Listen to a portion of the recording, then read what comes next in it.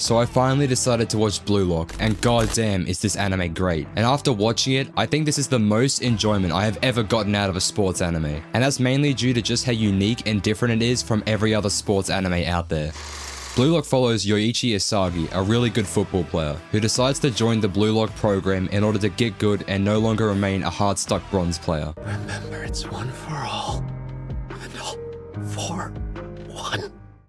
But in order to do that, he will have to face off against 299 of the best strikers that Japan has to offer, who are all fighting to become the greatest striker ever. Where the consequences for failing means the death of their football career, the stakes couldn't be any higher. And Isagi is the second worst striker there, except for Attack on Titan Connie Copycat. And I love how right off the bat, Blue Lock separates itself from every other sports anime by making every team fight amongst themselves over a game of tag, where whoever is it last immediately fails Blue Lock. And in the final seconds of the game of tag, Isagi harnesses his inner and I took that personally demon and pelts the ball straight towards Ryusuke, resulting in it obliterating his face, while also simultaneously annihilating Ryusuke's hopes and dreams as now he'll never be able to play football ever again. Which is just like, wow, man got hit in the face with a ball and now he's banned from football.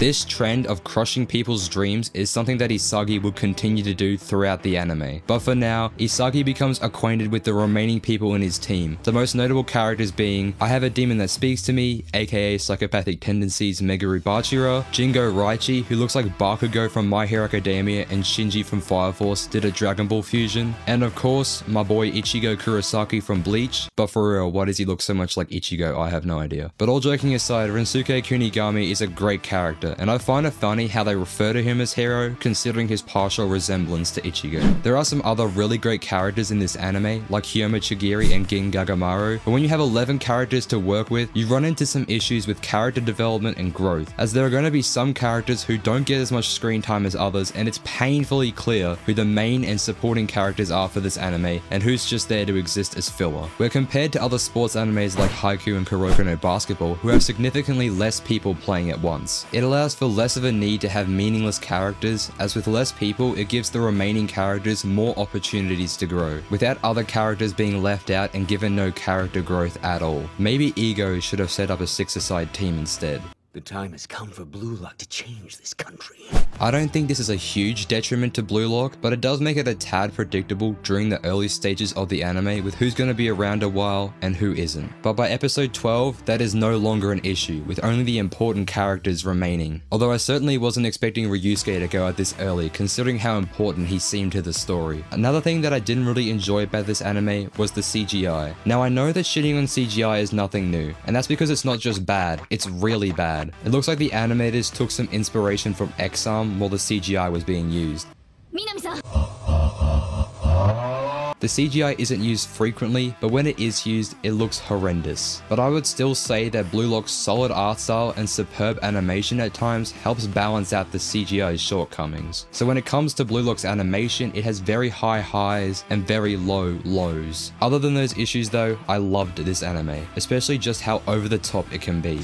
I don't know if you know this, but Blue Lock isn't exactly the most realistic sports anime ever made. If you watch this anime expecting to see how football is supposed to be played, you came to the wrong place. Especially since the anime only includes strikers and none of the other positions played in football. And off the premise alone, you know it's going to be something completely different to the generic sports anime. But because of the unrealistic nature of Blue Lock, it has garnered a lot of criticism. And sure, if people were going into this anime expecting your stereotypical sports anime, they're going to be surprised by what they see. And while Blue Lock certainly embellishes a lot of things, including goals and special dribble moves with effects to help exaggerate how cool they are, there isn't anything too unrealistic in this anime, especially when compared to an anime like Kuroko no Basketball, where they pull off some of the craziest moves I've ever seen. I think that exaggerating the way they score in Blue Lock makes everything so much more hype and perfectly fits in line with this anime's central themes of egoism and winning. Doing whatever it takes to be the best by believing that no matter what, you are the best and making yourself stand out more more than anyone else because that is the sign of a truly perfect striker, with the effects being used to emphasize something spectacular over something ordinary. And I especially enjoy when they get those effect in their eyes because that's how you know shit's about to go down. The soundtrack to Blue Lock is also incredible and one of my favorite anime soundtracks to listen to for how unique and different it is to so many other anime soundtracks. There is nothing that makes Blue Lock a sports anime, especially when Blue Lock's entire premise goes against everything that a sports anime is. Because Blue Lock's central focus is placed on egoism instead of teamwork, it is unlike any other sports anime to come out. Although there is teamwork prevalent at the start of the anime, by the time Isagi gets to the second selection, all that goes out the window in favor of individual talent and skills. And while I do miss some of the camaraderie and testosterone fuel moments at the start of the anime with Blue Lock, this is always what was going to happen. You can't be the best striker if you need help from others. You need to be able to succeed off your own individual talent and skills. Blue Lock is more like a battle shonen, where the main focus is on football. There are no allies, it's every man for themselves. That's clear as day during Team Z's first match against Team X, where they are all fighting over the ball even though they're on the same team, as each one of them want to stand out more than the other and be the guy to score the goal. Because of all this toxic behavior, they end up losing, but not before getting a snippet of Isagi's potential, with him serving up the perfect pass to Kunigami for the goal. And it's during their second match against Team Y, where everyone on Team Z is working together, and because of this, they end up winning and crushing the dreams of Team Y. This is why any of the teams are even working together. It's because of circumstance, because they have to, and if they don't, they will lose their only chance of being the best striker in the world. There's a particular line I think summarizes this well when Isagi is talking to Chigiri during their match against Team W. You idiot. I wasn't saying it for you. The idea of having everything to gain, but also everything to lose, is perfect. It pushes every person to Blue Lock to their absolute limits, because they know that by winning they'll become the best striker, which gives them the incentive to want to improve and win, and by telling them that they'll never be able to play football again if they fail, gives them the perfect motivator to do their best at all times, that being fear. But even more than that is how Blue Lock helps the players to overcome their fears and improve inside of Blue Lock, Chigiri being the easiest example. Chigiri starts off as a super mellow and depressing character who previously suffered an ACL tear. He is literally the football Derrick Rose of this anime. He initially joined Blue Lock to search for a reason to give up on his football career, and that's reflected in his mood and his effort level. He even says so himself. This mentality of his is a weakness for his team, as without him putting in 100% effort, there's no way his team can win. But thanks to Isagi, Chigiri is inspired by just how passionate he is about football, and this helps Chigiri to let go of all the worry and fear surrounding his leg, and treat every game like it's his last, wanting to give 100% to the sport until the very end. This proves to be a vital component to their team, as Kuon ends up betraying the team, which it did not expect at all to happen, but it just goes to show how different Blue Lock is compared to most sports animes. In Blue Lock, there can only be one winner, meaning that friendships and teammates are all but illusions, and that when it comes down to it, people will do whatever it takes to be the one on top above everybody else. And after barely squeaking out the win, they realize that their final match will be against Team V, the undefeated team of Building 5, but not before Ego tells them how trash they are, and then just pieces out like he did nothing wrong. Currently, your only consistency is inconsistency. In this match against Team V, Team Z pulls together an Allen Iverson Game 1 performance against the Lakers, and it makes for one of the most hype matches that Blue Lock has to offer. When you're overmatched and you're pushed to the edge, wondering if your dreams are going to die, you either break or come back twice as hard. And boy, does Team Z come back. Down 3-0 with their morale crushed and feeling hopeless, they start to give up. When out of nowhere, Bachira strings together some insane dribbling combos and manages to score all on his own. This one point would prove to be the spark for the entire team, with everyone playing out of their minds in order to win. With even Kuon coming in with the Draymond Green play. This is also where Jingo Raichi's character shines the most, as he has two of the best lines of dialogue in back-to-back episodes. Where the heck did you come from? Straight out of your nightmares, pal.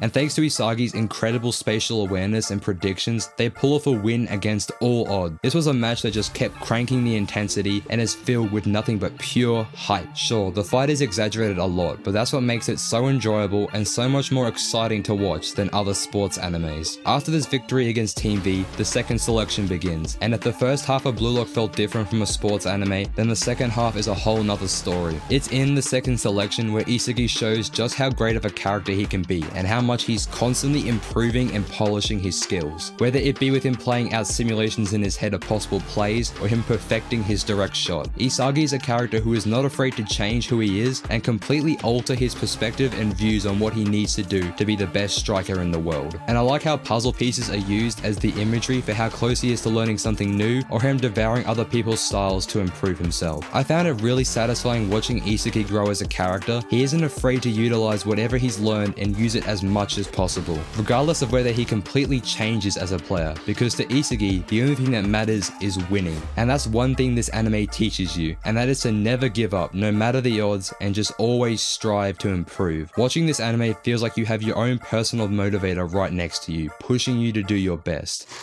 I don't know what to expect from the second selection, but what it ended up being was amazing. I really enjoy how it shifts from a team of 11 to teams of 3, making it more about the individual skills and characters, and how effective they are when they don't have their teammates with them, which helps to separate the ordinary from the geniuses. Every single one of the rivalry battles in the second selection are excellent. The first one with Rin Itoshi is a great tone setter with just how big of a gap there is in their skill level. Although there is clearly some power creeping going on, I don't mind it that much as the pursuit of perfection in sports is driven by wanting to beat someone better than you and surpass them. Even though Rin is a tad overdramatic and acts like a TikToker who just got opposed in one of their videos, You're all half-baked NPCs to me. He's a pretty interesting character, and off of his life or death mindset, he makes for a perfect rival for Isagi to rise against and surpass. As over the course of the second selection, Isagi learns from Steph Curry about the importance of off-ball movement and players' blind spots, using this to his advantage. I also found Baro to be a surprisingly enjoyable character throughout the second selection, especially in episode 16.